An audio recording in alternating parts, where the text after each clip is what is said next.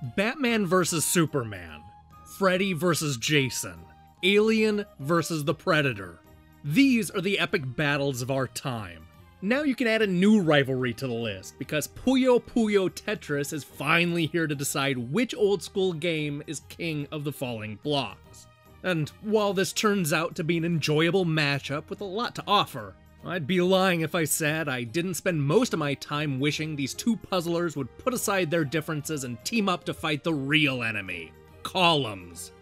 First released in Japan all the way back in 2014, Puyo Puyo Tetris is one of those games that looked like it was never going to find its way to the United States and Europe.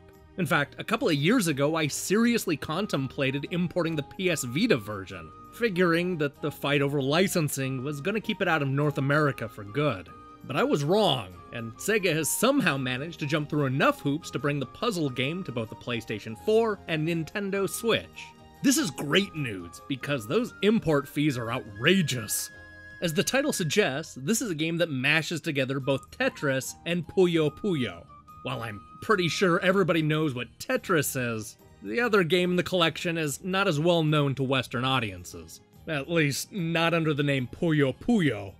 When Sega and Nintendo decided to port this old school puzzler to the Genesis and Super NES, they went through and replaced all of the characters to create Dr. Robotnik's Mean Bean Machine and Kirby's Avalanche. Since then, we've seen more than 20 iterations on the series, but most of them have never made it out of Japan. For those uninitiated, Puyo Puyo has us placing colored blocks in an effort to match at least four together. The trick is to not just combine light colors, but also set up chain events where one match leads to another, and another, and so on. What it does well is stand on its own, never coming across as just another Tetris clone with one or two minor tweaks. That said, I've always been unacceptably bad at the game, so I was kinda hoping this brand new installment might make me a high level player. More than anything else, I was eager to see if these two disparate puzzle games would be able to come together to create a harmonious package. Sega has done a good job of taking what works in both games and using it to construct a series of competitive modes that are mostly a lot of fun to play. And as bitter rivalries go, Puyo Puyo Tetris turns out to be much more entertaining than Sadako vs. Kayako. Instead of simply being a compilation of two classic puzzle games, the focus here is on multiplayer battles. The game comes with a staggering amount of modes and challenge stages, most of which center around Tetris on one side and Puyo Puyo on the other. At its most basic, the two puzzlers will battle it out head to head, constantly throwing obstacles and other impediments in the way to fill up the opponent's screen and win. That's fun, but I assure you, we're just getting started. The swap mode, for example, doesn't just pit one puzzle against the other, but will rotate between the two every few seconds. This means that you'll set up a bunch of lines in Tetris before the game throws you into a short round of Puyo Puyo. You'll jump between the boards until one of the screens fills up and the player can't make any more moves. Then there's the Big Bang mode, which has us clearing a bunch of puzzle like stages in hopes of earning big points. After both sides have gone through a series of increasingly complicated levels, the pieces will get sucked into a black hole, and whoever has the most points will inflict damage on the other player. You'll win if you can shatter the other person's screen, which adds an extra layer to the competition. One of the more interesting modes is Fusion, which literally combines the two games into one chaotic mess. The pieces will alternate between Puyo bubbles that stack up and Tetrominos that will crush everything in their path. This takes some getting used to, but presents a fun challenge that will really mix up the way you play Puyo Puyo Tetris. There's also a party mode, which tosses bizarre power-ups into the mix. Apparently, it's not enough to throw extra blocks back and forth like the other games, because this crazy mode is all about going on the offensive with unique powers. You'll be able to grow the Tetris pieces, remove the ability to rotate blocks, cover the opponent's board in darkness, and so much more. As you might imagine, it doesn't take long for this mode to spiral out of hand in the best ways possible.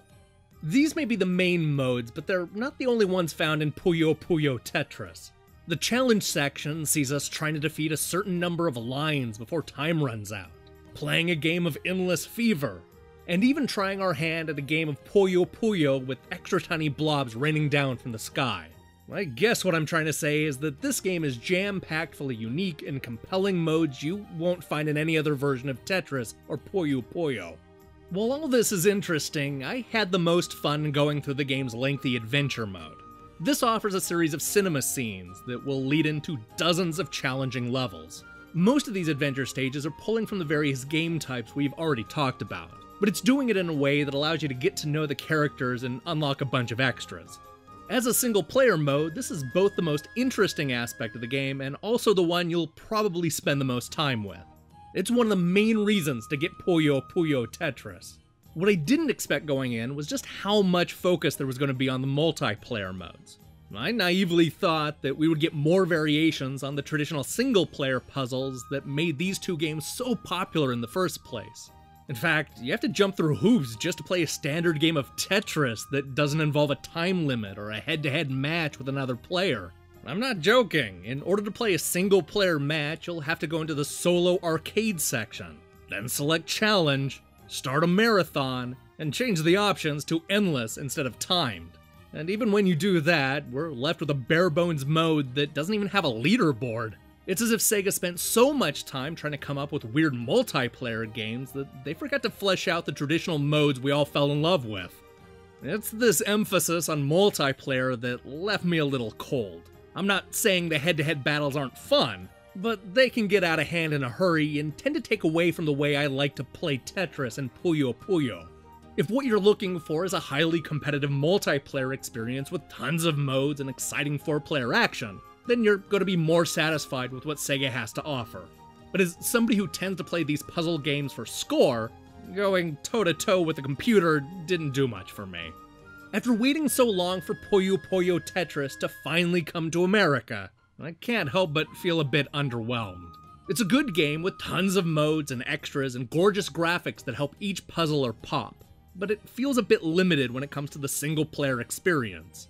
A lot of the modes you've come to expect from these two classic games are either bare bones or missing altogether.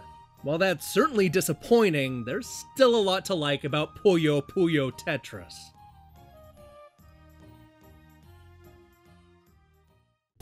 Hey, thanks for watching our review. It's Monday, which means we have a busy week in store.